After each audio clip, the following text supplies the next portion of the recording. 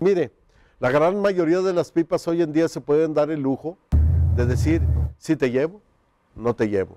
Sobre todo, por ejemplo, acá en la colonia Francisco Villa, donde usted está viendo eh, específicamente, en calle Dorados, calle eh, Toma de Zacatecas, calle Mariano Arrieta, muchos de esos lugares no tienen el suministro de agua. Y vaya que se construyó un bóster acá exactamente en el crucero de la calle José Vasconcelos con paseo de Fernillo, estación San José, que dice que todo Pancho Villa y todo Venustiano Carranza iban a tener agua y ni más.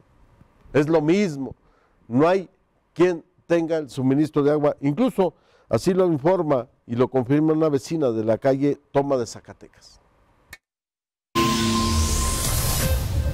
Sin agua, señora. Sí, sin agua. Nosotros ya vamos para dos años que no, como que aquí en la toma de Zacatecas no hay tanta presión, porque está hasta el tubo rompido y sí sale poquita agua, pero no sube nada, no sube nada, ¿no? Ya como dos años y la pipa hace como tres semanas que no viene.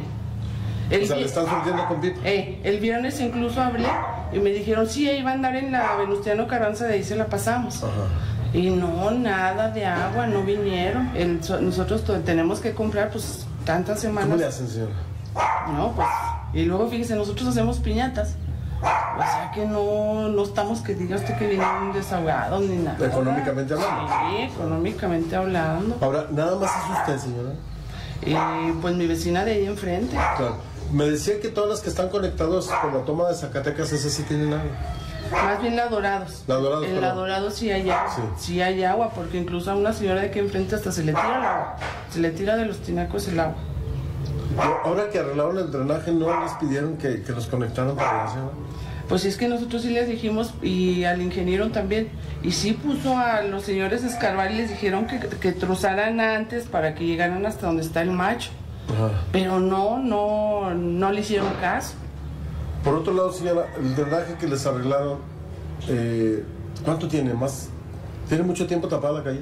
Como un, bueno, en esta le dijimos que como mes y medio, de que en como dos meses, yo La creo. Sí, la Dorados. Sí afecta a la Sí, circulación. porque nos- nosotros nos metimos porque el- ya nos estaban robando la batería de la ¿Serio? camioneta. Sí. ¿A usted y a varios les robaron? pues bueno, a nosotros y los vecinos de ahí enfrente, ellos también se tuvieron que meter porque tenían que llevar su camioneta bien lejos y pues ellos tienen que salir temprano.